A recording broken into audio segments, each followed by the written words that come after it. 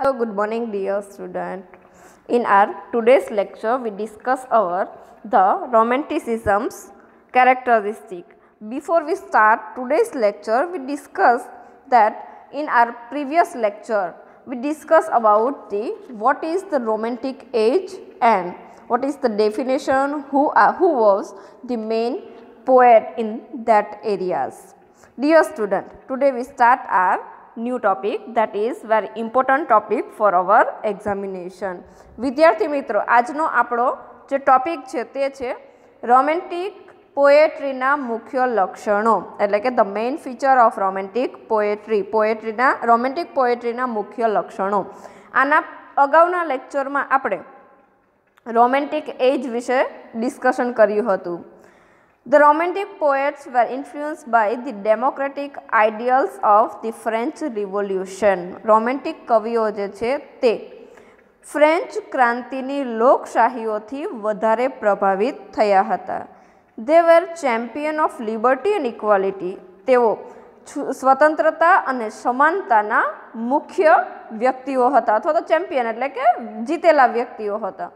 This positive note is observed in their poetry અને તેમની કવિતાઓની અંદર સૌથી વધારે જો કોઈ પોઝિટિવ એનર્જી અથવા તો કોઈ નોંધપાત્ર બાબત જો હોય, તો તે છે કે સમાનતા અને સ્વતંત્રતાની બાબત વધારે પડતી જોવા મળે છે. The romantic poets believe in free and spontaneous expression romantic કવિઓ જેવા કે વિલિયમ વર્ડ્સવર્થ સેમ્યુઅલ કોલરિચ આ બધા કવિઓ જે છે, તે એવું માનતા હતા કે હંમેશાને માટે કોઈ પણ ટૂંકમાં તેમની કૃતિ છે તેમનું લિટરેચર છે, સાહિત્ય છે, તે હંમેશા ફ્રી એટલે એકદમ મુક્ત હોવું જોઈએ અને સ્પોન્ટેનિયસ એટલે કે સ્વયંસ્ફુરિત. સ્વયંસ્ફુરિત એટલે શું? તો કે સ્વ અંકુરિત. સ્વ અંકુરિત એટલે તમને અંદર આત્મામાંથી જે પણ કંઈ વિચાર આવે છે અને તેને તમે વ્યક્ત કરો છો, તેને કહેવાય છે spontaneous they preferred emotion over reason and express the human personality with its mood and potentiality okay તેઓ સૌથી વધારે પ્રિફર કરે છે, એટલે કે મહત્ત્વ કોને આપે છે? ઇમોશનને. કોઈ કારણ કરતાં વધારે તેઓ લાગણીને મહત્ત્વ આપે છે અને એક્સપ્રેસ ધ હ્યુમન પર્સનાલિટી વ્યક્તિની ખરેખર વ્યક્તિત્વ છે, તેને વ્યક્ત કરે છે કે તે ખરેખર શું છે? તેમનું ખરેખર મૂળ કેવું છે? વ્યક્તિત્વ શું છે? આ બધી વસ્તુ જે છે, તેને વધારે મહત્ત્વ આપે છે અને તેને જ વ્યક્ત કરે છે. They brought the individuals their passion and their struggle as theme of their works brought જે છે અહીંયા બ્રિંગનું ભૂતકાળ છે કે તેઓ લાવ્યા છે. તેઓ એટલે કોણ? તો કે વર્ડસવર્થ કોલરીજ જોન કિટ્સ, આ બધા જે છે તે રોમેન્ટિક કવિઓ છે. આ રોમેન્ટિક કવિઓ વ્યક્તિગત વસ્તુ લઈ આવ્યા છે ઇન્ડિવિજ્યુઅલિઝમ લઈ આવ્યા છે.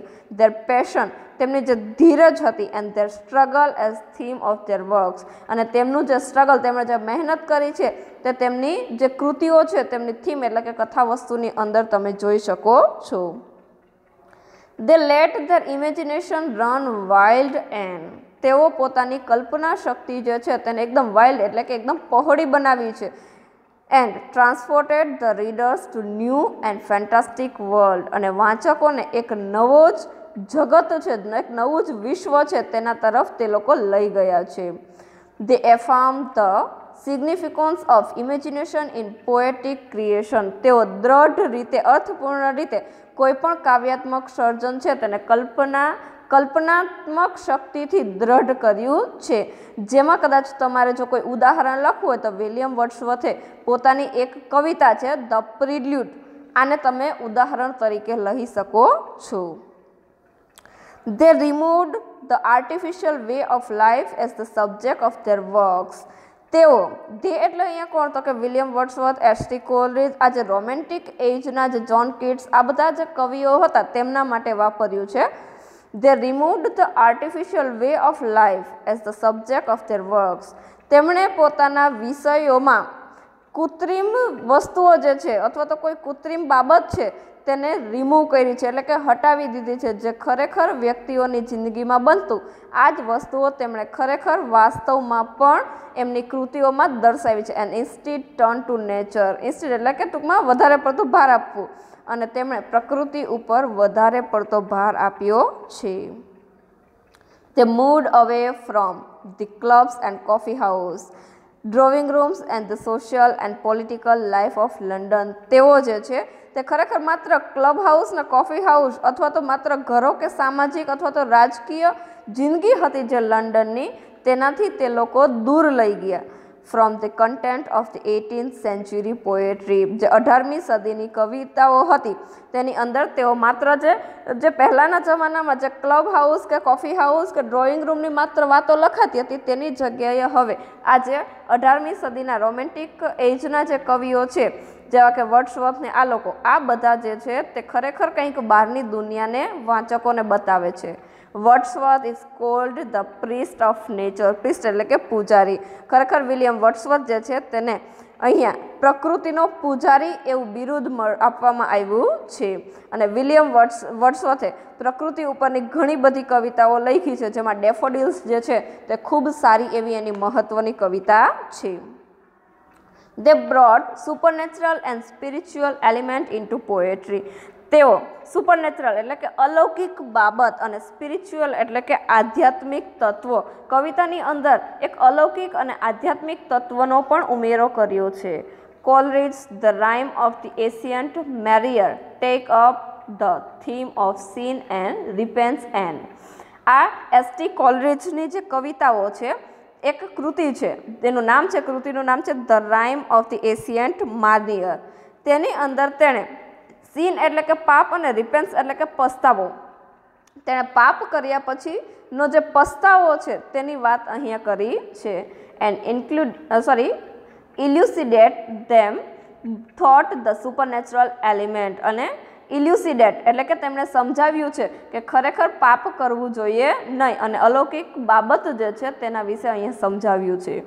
તે turn to the past time and તેઓ જે છે ભૂતકાળના સમયને પસાર કરી અને derived stimulus from tales of medieval times or from Greek and Roman mythology તે લોકો જે છે, ભૂતકાળને હવે ધીમે ધીમે પાછળ મૂકી અને સ્ટિમ્યુલ્સ એટલે કે પ્રેરક, એટલે કે આગળની જે ટૂંકમાં વાર્તાઓ છે મિડિયવલ ટાઈમ્સ કે મધ્ય સમયગાળાની અથવા તો ગ્રીક અને રોમન સમયગાળાની જે દંતકથાઓ છે, એને હવે આગળ મૂકી દે છે.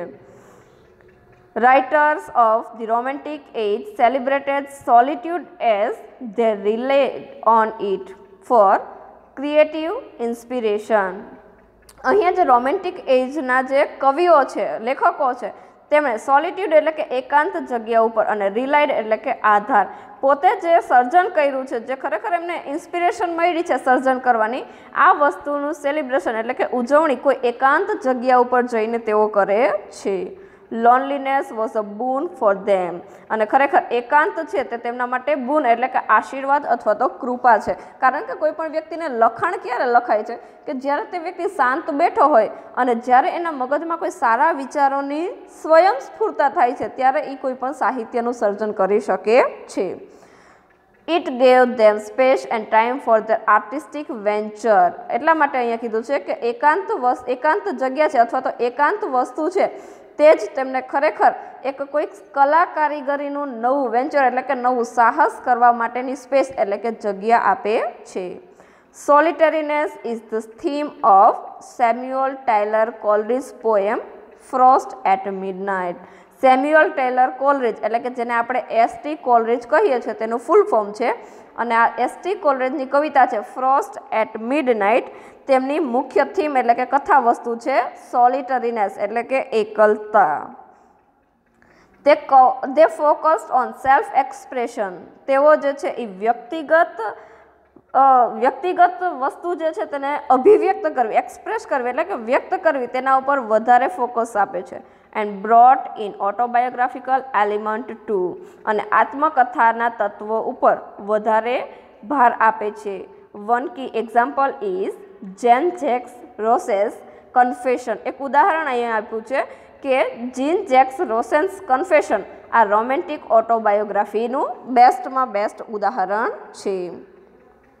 The description are very sense sorry sensory sensory and enlivening our sense તેઓનું જે વર્ણન છે તે સેન્સેસરી એટલે કે સંવેદના અને એનલાઇવન એટલે કે સજીવન આપણી સભાનતાને સંવેદનાને સજીવન કરે એવું તેમનું વર્ણન હોય છે કોનું રોમેન્ટિક એજના જે કવિઓ છે તેમનું Wordsworth depiction of the daffodils create a picture of a bunch of daffodils dancing with the wind before the reader's eyes. William વર્ડસવર્થની મેં જેવી રીતે વાત કરી કે તે પ્રકૃતિનો કવિ હતો અને તેને સુંદર મજાનું ડેફોડિલ્સની જે કવિતા છે તે તો લખી છે. આ ડેફોડિલ્સની કવિતાની અંદર કંઈક એવું આવે છે કે ડેફોડિલ્સનું ફૂલ હોય છે.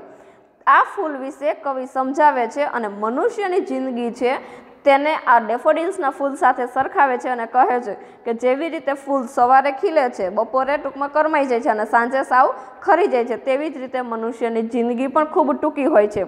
એમાં પણ યુવાન અવસ્થા જે છે મનુષ્યની તે માત્ર ફૂલ ખીલવા જેટલો સમય છે, હા, એટલો જ સમય આપણી યુવાનીનો હોય છે. એટલે જ્યારે કવિ અહીંયા ડેફોડિલ્સનું ફૂલ જે છે તે ડાન્સ કરે છે, નૃત્ય કરે છે, આ વસ્તુનું જ્યારે વર્ણન કરે છે વાચકોની સામે, ત્યારે વાચકોની સમક્ષ એનું ચિત્ર જે છે તેનું સર્જન થઈ જતું હોય છે.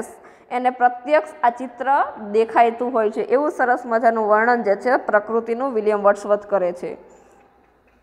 They realize the value of an implemented simplicity of language. Implementation એટલે કે અમલ. તે જે મૂલ્યનો અહેસાસ કરે છે, તે જ સરળ ભાષાની અંદર અમલ કરે છે. For example the language of the middle and lower classes of society કે જે ભાષા મધ્યમ વર્ગ અથવા તો નિમ્ન વર્ગના લોકો સમજી શકે છે, આવી સરળ ભાષાની તે લોકો અપીલ કરતા હોય છે, મતલબ કે લખતા હોય છે. Artificial language of the classical school of poetry is completely avoided આ જે રોમેન્ટિક એજના કવિઓ છે, તે પરંપરાગત જે પ્રાચીન, આપણે જે ક્લાસિકલ સ્કૂલ ઓફ પોએટ્રી એટલે કે જે પ્રાચીન સમયગાળામાં જે કવિતાઓ લખાતી હતી એમાં જે ઉપયોગી થતી હતી જે ભાષા, આ ભાષાને અત્યારના જે રોમેન્ટિક એજના કવિઓ છે તે અવોઇડ કરે છે. Heroic couplet, used by 18th century writers, is replaced by natural and simple poetic diction. Heroic couplet એટલે કે લખવા માટેની એક છંદ છે. આને અઢારમી સદીના લેખકો જે છે તે લખતા હતા, પણ રિપ્લેસ એટલે કે એને ફરી પાછું એક નવું સર્જન આપી અને નેચરલ અને એકદમ કુદરતી અને એકદમ સરળ રીતે નવું સ્વરૂપ આપ્યું છે. The romantic writers use blank verse or stanzas blank verse એટલે કે પ્રાસ વગરનું રોમેટિક લેખકો છે. તેમણે કોઈ પણ પદ્ય અથવા તો પેરેગ્રાફ જે છે તે પ્રાસ વગરના લખ્યા છે કે વધારે પડતા જે છંદ અને અલંકારોની જે ઝંઝટ છે આને ટૂંકમાં એકદમ રૂઢિગત નથી રહ્યા. એ લોકો મુક્ત રીતે લખ્યા છે. Or a variety of shorter lyrical measures અને તેમણે વિવિધતા ટૂંકી રીતે લિરિકલ એટલે કે લયબદ્ધ રીતે અથવા તો ઉર્મી રીતે એકદમ માપ, માપક એટલે કે એકદમ ટૂંકમાં અને સરસ મજાના વિવિધતાપૂર્વકના લખ્યા છે. અહીંયા આપણે કંઈક નવથી દસ જેટલા જે લક્ષણો છે પોઈન્ટ છે, જે રોમેન્ટિક પોએટ્રીના લક્ષણો સ્વરૂપે અહીંયા ચર્ચા કરી. હવે કન્ક્લુઝન જોઈએ. જ્યારે તમને આ લક્ષણોનો ક્વેશ્ચન આવે છે, ત્યારે તમારે ક્વેશ્ચનને કંઈક આ રીતે લખવાનું શરૂ કરવાનું. સૌ પ્રથમ, જે આપણે પ્રથમ લેક્ચરની અંદર રોમેન્ટિક એજનો જે ખ્યાલ આપ્યો તે લખવાનું. ત્યારબાદ રોમેન્ટિક એજના લક્ષણો અને અંતમાં કન્ક્લુઝન લખવું ખાસ જરૂરી છે. તો હવે આપણે ઉપસંહાર ઉપર આવીએ છીએ. The writer of the Romantic age broke away from the established practice of the 18th century literature. અઢારમી સદીનું જે સાહિત્ય હતું, એની પ્રથમના જે ટૂંકમાં નીતિ નિયમો હતા, ત્યાં રોમેન્ટિક એજના કવિઓ છે, લેખકો છે તેમણે એકદમ તોડી નાખ્યા છે and introduce a sea change in the content from form expression and style of their work અને તેમણે તેમના કૃતિઓની અંદર એક નવું જ ટૂંકમાં કન્ટેન્ટ એટલે કે એક નવો જ ખ્યાલ ફોર્મ સ્વરૂપ અને એક્સપ્રેશન એટલે કે વ્યક્ત કરવાની શૈલી આ દરેક વસ્તુ તેમણે તેમની કૃતિઓમાં નવી જ રીતે આપી છે.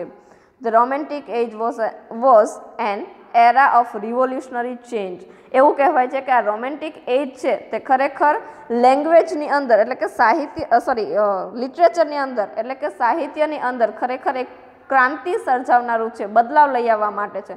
નોટ જસ્ટ ઇન લિટરેચર માત્ર સાહિત્યની અંદર જ નહીં but also in the perception of man and universe and perception એટલે કે જાણવું અથવા જણાવવું પણ માત્ર સાહિત્ય જગતની અંદર નહીં, પણ મનુષ્ય, ટૂંકમાં મનુષ્યને જાણવા માટે, અને આ મનુષ્ય માત્ર એક દેશ પૂરતા નહીં, પણ વૈશ્વિક રીતે દરેક લોકો જાણે એવું હતું. And in the man's place in the universe અને મનુષ્યની જગ્યા જે છે, તે આ લખાણો દ્વારા ખરેખર વૈશ્વિક સ્થળે પહોંચી ચૂકી છે. વિદ્યાર્થી મિત્રો, ખાસ આ ટોપિકનું રીડિંગ કરવું થેન્ક યુ